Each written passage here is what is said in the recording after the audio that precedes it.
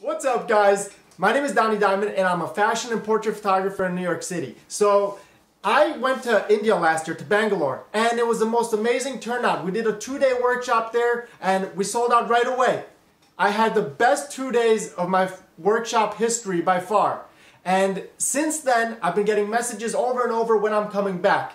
So I'm coming back, guys. Let's do it. I'm coming back to Bangalore for two days, March 17th and 18th, for a two-day jam-packed workshop. But what's exciting is that I'm going to be talking about using Flash in your portrait work the most easy technique possible. I'm going to talk about just shooting plain natural light, of course, using a reflector as well, but also balancing flash in your portrait photography. I've been doing this over the past couple years, and I've been really happy with the results. They turned out per, uh, very popular, and people have been asking me about it. So I want to share the little bit that I do know. Day number two, we're going to be talking about retouching, everything I know about retouching. And I'm going to, of course, give my uh, action, which is a 15 minute retouch workflow in Photoshop. This is, this is getting professional advanced level retouches in 15 minutes, okay? So I'm gonna share everything I know, how to deliver images to client, proofs, the easiest way to get your clients to choose images. I'm gonna talk about business, social media. I'm gonna talk about everything, guys.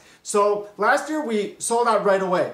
So I don't know if we're able to make more spaces this year, but we definitely are going to have for sure 25 spaces for this workshop. And we're going to try to get more based on uh, how many people sign up. So if you're interested, sign up right away, guys. I can't wait to see you guys in India. Yeah! Dani Diamond coming to India again. Bum, ba, dum, bum, bum, bum, bum. Yeah, yeah. Doom, doom, doom, doom.